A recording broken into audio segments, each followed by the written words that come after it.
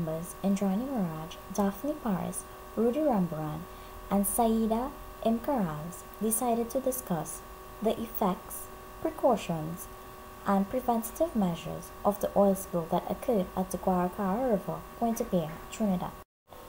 The oil spill not only affected the citizens and animals, but had a great impact on the fishing industry. The economy was tremendously affected. The citizens of that area developed serious health conditions, such as respiratory problems, nausea, headaches, and even possible miscarriages of good.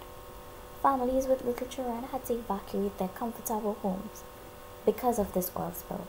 I strongly suggest to the oil company of Trinidad and Tobago to take preventative measures and ensure all their pipelines and tanks are serviced and updated so this disaster do not occur in the future.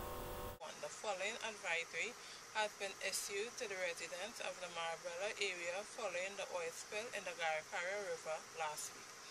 Avoid areas where oil can be seen. Avoid direct contact with oil, oil-contaminated water and sediment.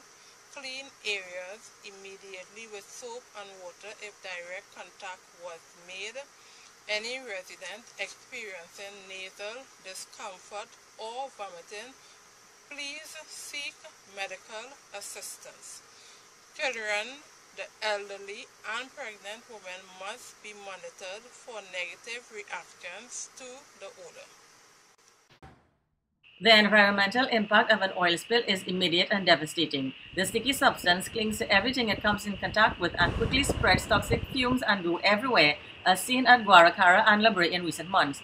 Contact with the crude results in damage to animals, habitats, and ecosystems. Toxic levels in animals cause their deaths as well as poisoning further up the food chain. The oil residue can live beneath the surface of beaches and seabeds, severely affecting marine organisms that provide food for other animals. Preventing oil spills requires preparedness and continuous improvement in every phase of operations where oil is produced, transported, and stored. Exploration and production departments should incorporate data from previous spills to use with advanced technology, materials, and practices to prevent future spills.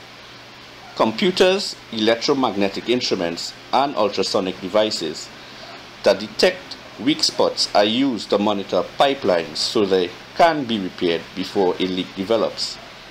The design of cargo vessels, marine terminals must be improved. Tankers built with double hulls and storage tanks are constructed from special materials that withstand corrosion.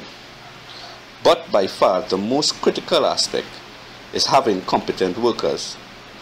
The necessary training, proper protective equipment, and the right tools must be provided in order to strive towards acceptable standards of health safety.